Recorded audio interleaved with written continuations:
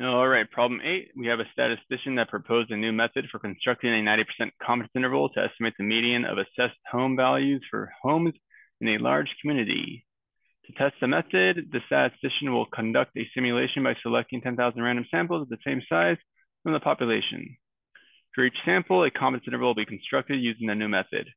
If the confidence level associated with the method is with the new method is actually 90%, keyword, which of the following will be captured by approximately 9,000 of the confidence intervals constructed from the simulation.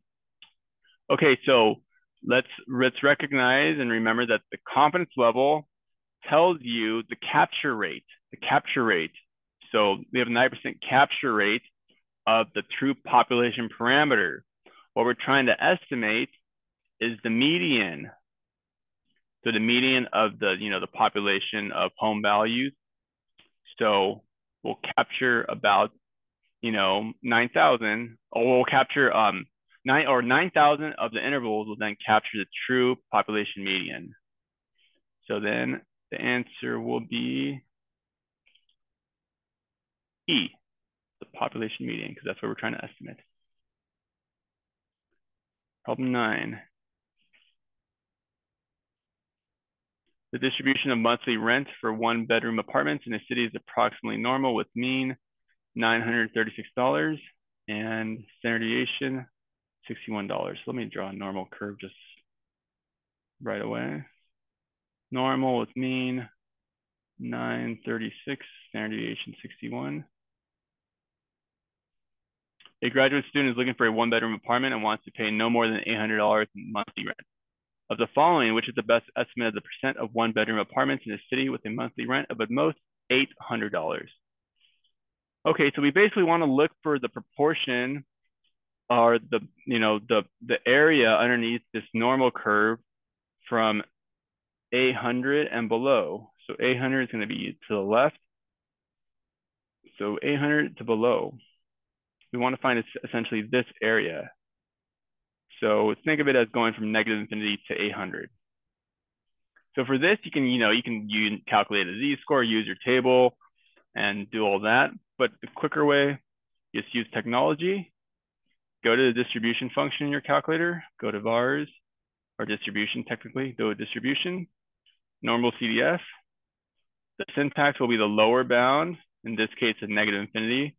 So you just enter a very large negative number comma, upper bound, we're going up to 800, comma, followed by the mean, which is 936, comma, followed by the standard deviation. So this will give us our area or proportion. And it's not going to be, this is a very poorly, this is not drawn to scale, but it's only about 1.289% or the closest answer will be 1.3%. So A. If you have like a newer version or like um, an 84, 80, 84 TI 84, then um, it's actually a lot easier to work with these um, functions.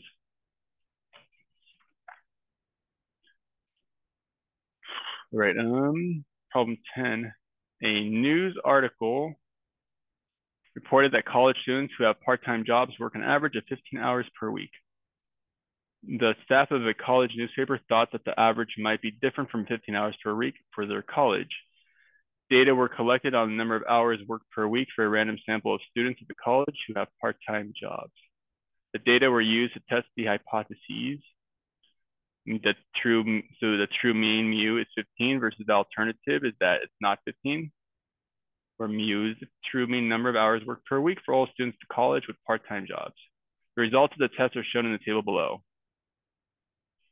Okay, so here's our data. Assuming, or here's our statistics, I guess. Assuming all conditions for inference were met, which the following represents a 95%, about 95% confidence interval for mu. Okay, so remember, this will be our point estimate. When you make a confidence interval, we start with the point estimate, plus or minus our critical value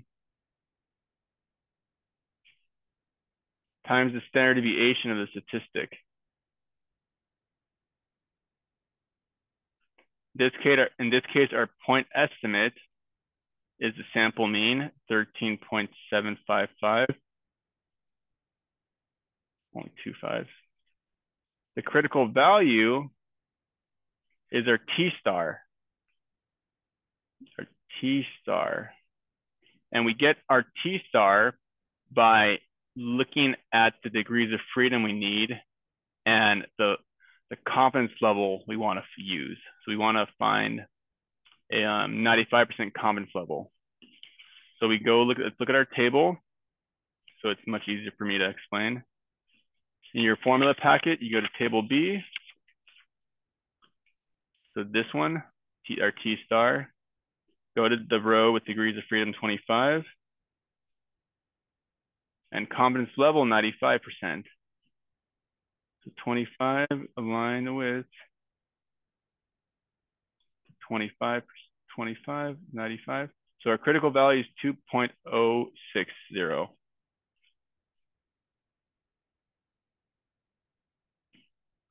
And the standard deviation of the statistic will be our standard error, which already calculated here, 0.707. And so then let's just multiply that out, to see what that is.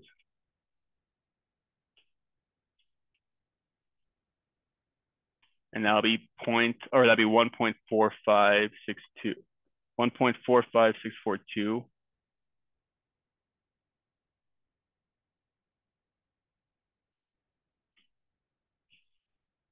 And so then our answer you can see is going to be E, given in this form.